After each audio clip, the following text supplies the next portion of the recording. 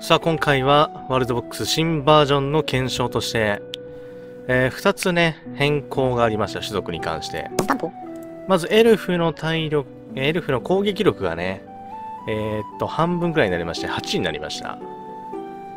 で、まあ、ドワーフがちょっと寿命伸びたり強くなったというとこで、まあ、攻撃力の差は実にね、9あると。で体力もドワーフの方が多い。これはつまり、まあ、殴り合えば、ドワーフが勝つことを示してますよね。ね、当然ですけど。こんだけ残ってますと。ってなってこればですね、まあ、エルフどんだけ弱くなってしまったのということで、ちょっとエルフ3連戦しますかまず、王者説があるドワーフね。ちょっとまあ、一応1対1はやっておきますが。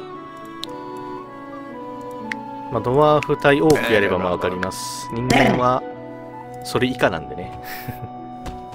あ、でも先行多く取ったね、今ね。これは多く有利でしょうか。ですね。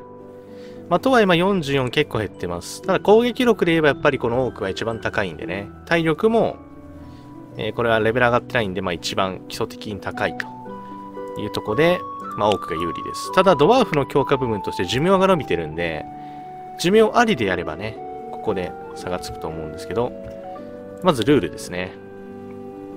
反乱切りましょう。で、この100人の村をつけて、えー各勢力、まあ、例えば村が5個であればもう500人とマックスは、そういうような、えー発展をある程度制御するようにしながら戦わせようかなと。まあ、あるいはね、なんか、2個くらい村作らせて300、300とかでもいいんですけど、ちょっと、とりあえず発展しながら戦ってもらおうかなと